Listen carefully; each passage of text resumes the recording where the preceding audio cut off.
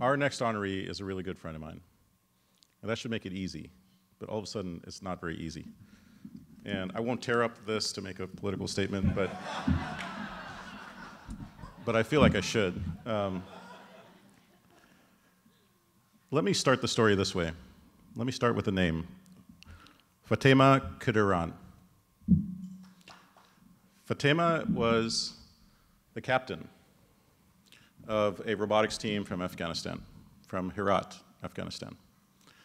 So picture six or seven 15 year old girls, 15, 16, that are competing to get into the global robotics competition in Washington, D.C. in 2017. Fatema was the captain. She assembled the team, she trained the team, she disciplined the team, and they actually got accepted into that competition in Washington, D.C. Their lives were starting to change. Our honoree today paved the path, worked with the administration under the so called Muslim ban to trying to find a way to bring these young girls over to the United States. And you know, that in itself is a story. But it's not a political story. Um, the girls came, and they want to come because they want to show what they got. They want to come because they want to play with all the other competitors. It's a life experience.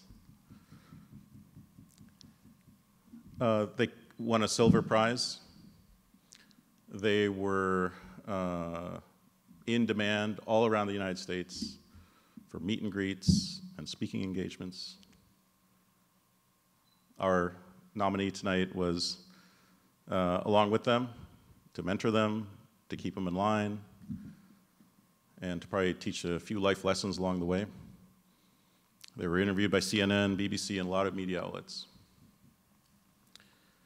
That arc, that story arc at that point in these young girls' lives is phenomenal. Fatima, the captain, when the team came back to Herat, learned that her father died. So while she was on a great journey, her father was killed in the hands of ISIS in Afghanistan.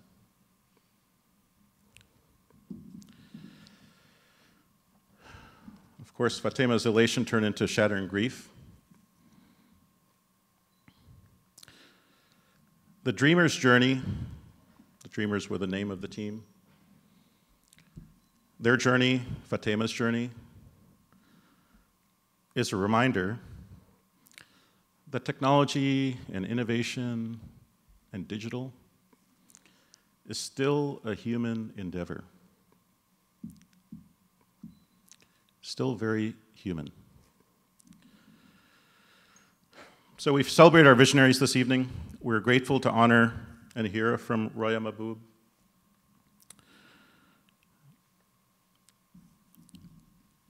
She is a really good friend of mine.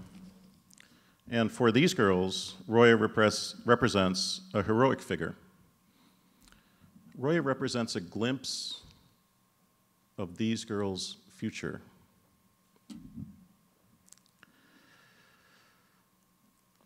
But of course, Roya was one of these girls. I'm not allowed to say how many years ago, but some years ago. a younger Roya experienced the internet for the first time in Afghanistan. That access gave her a view into an exciting new world. A world that goes beyond the veil of a very traditional society, of a very oppressive regime under Taliban control. And that view activated Roya internally. Roya was able to discover new aspects of herself, new potentialities,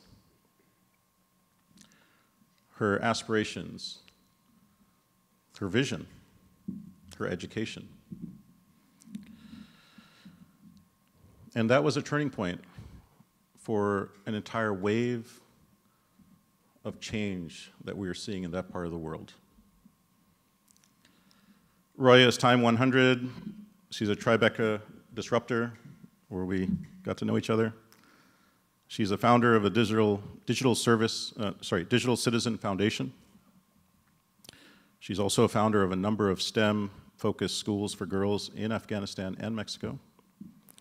She's a board member of a U.S. university. We're honored to have her as advisor to our Horizon 3 venture capital. So many accolades, but on a personal level, those accolades don't even begin to represent what she represents for me. To me, Roya's story, the dreamer's story, Fatema's story, represents the profound nexus of powerful forces at play in today's digital world. At this nexus, the entirety of a girl's life is in the balance. This is a place where fear and excitement reconcile. Reconciles to ignite a young girl's soul. This is where suppression and adventure play out cloak and dagger scenes in the streets and homes in Kandahar.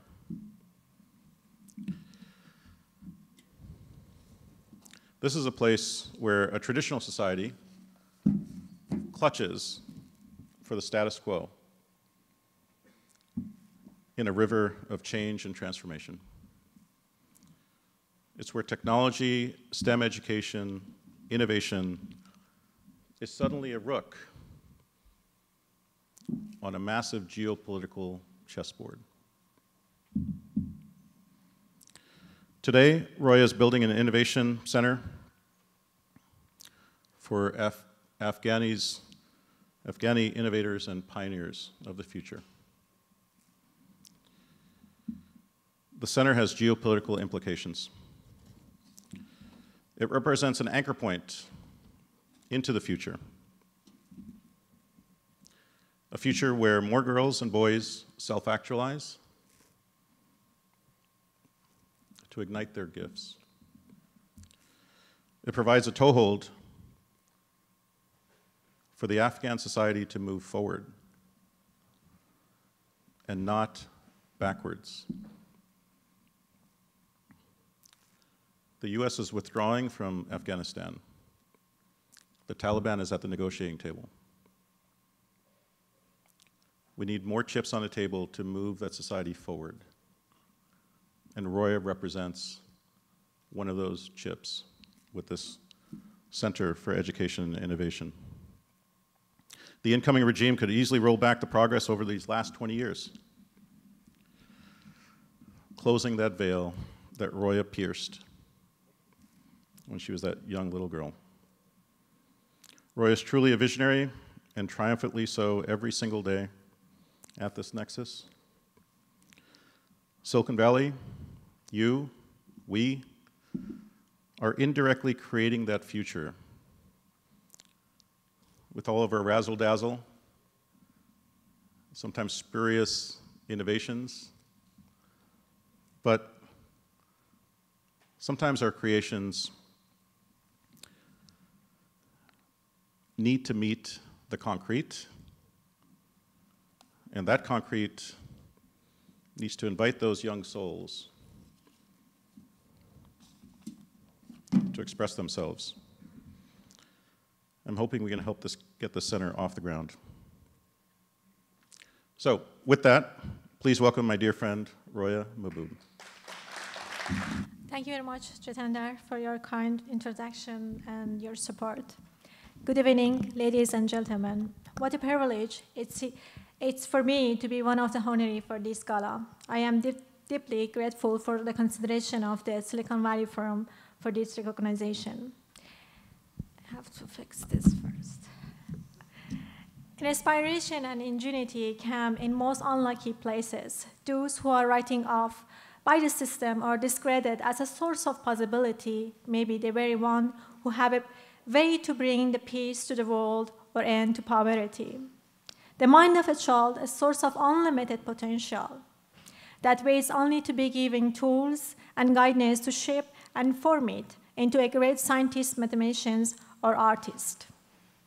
I could have been nameless, unknown woman in Afghanistan, the courageous men and women who are here today, who lead and dare to dream of brighter future, could have been unknown, just so the world leaders of the future may still be unknown.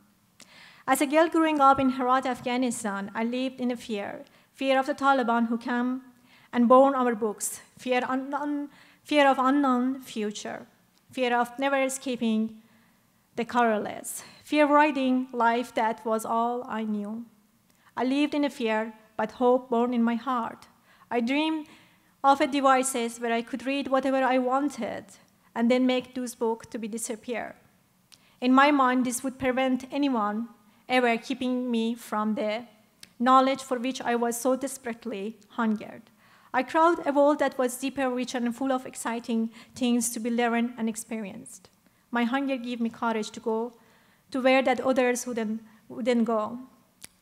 This courage led me to go to only in the cafe in Herat, that where I was introduced to this magic box that people called computer. From that moment, I made the technology to be center of my career. Technology was how I know my world could be changed. My sole education was that opened the door of opportunities and success. I started my, my software development company in 2010. The company grew quickly, and I hired many women as programmers and bloggers, and becoming the first female tech CEO in Afghanistan. My, my success fueled my desire to empower other young women to becoming leaders and gain confidence and knowledge in a world that wanted to keep them in dark. I sought digital fund with one goal and one dream. The goal is to see that technology is an accessible option for everyone, the dream was that everyone, even those who are living in conservative countries, would have the same opportunity and education available for them, regardless of their background and gender or social status. Even today, it might seem a big goal, but if we do not have courage to lead the way and fight for something different, nothing will ever change. When we are willing to stand up for different future for women and children around the world, we will find that we have the power to do what is necessary to effect those changes. Today, the Digital Fund has trained more than 15,000 of the women in Afghanistan, and more than 100 of them have become entrepreneurs themselves, taking their lives into their own hands and helping others, women and girls, lead a life of choice and never before imagined possibilities. In 2017, a nonprofit organization called First Global asked us to put together a robotic team to to take part in First Global Challenge, an international competition for teenagers. This is how the Afghan Dreamers, Afghanistan first all-girls robotic team began. Six students selected from 115 students who applied for the exam. Even thought that their visa application were rejected twice, the Afghan Dreamers eventually traveled to the United States to participate in the first global challenge, tasked with building their own robot for the competition. They captivated the public with their inspiring message of determination and hope. They eventually received a medal for courage achievement. They proved that after years of dark darkness and subjection, Afghan girls across the country can finally take charge and aspire to be master of their own destiny. This is the power of our youths. Their courage against the backdrop of the personal national tragedies has in infection power to install hope. As reward for the Afghan Dreamers' effort to advance women's participation in the field of science, technology, engineering, and mathematics, the Afghanistan government donated six acres of land at Kabul University.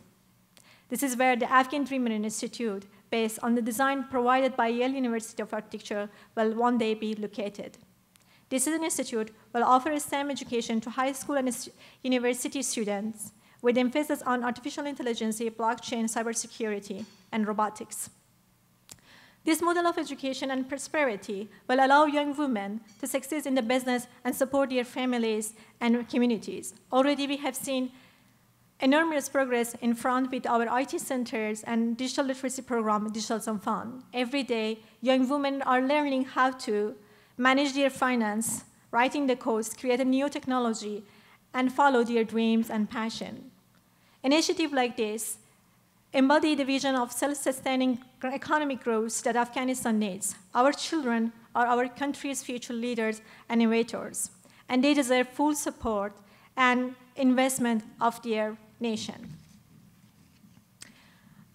Education is engine for regional development, peace, and prosperity, but it must be quality education that is shaped for the future. Simply, protecting the ways of the past will breed an Afghanistan that mirrors the past, one that, that the world has left behind. Technology and education is STEM, like provided a New Dreamer Institute, will allow young girls and boys to be trained in high quality, cutting edge technology and media. They will compete on the world stage for development of the world-changing innovation and progress. System-wide investment in education at secondary and higher level education shape a trajectory for job creation, economics progress, and ultimately more inclusive and peaceful societies. This is what Afghanistan needs most. Not more war, not the past repeated, a new vision, a new hope, but hope that is not realized only crush the dreamers. It is a vision that is pursued, the education that is learned, that change the lives. One young person, one young woman, one family, one community at a time, we are changing, and we will change the future of Afghanistan and the world. Thank you.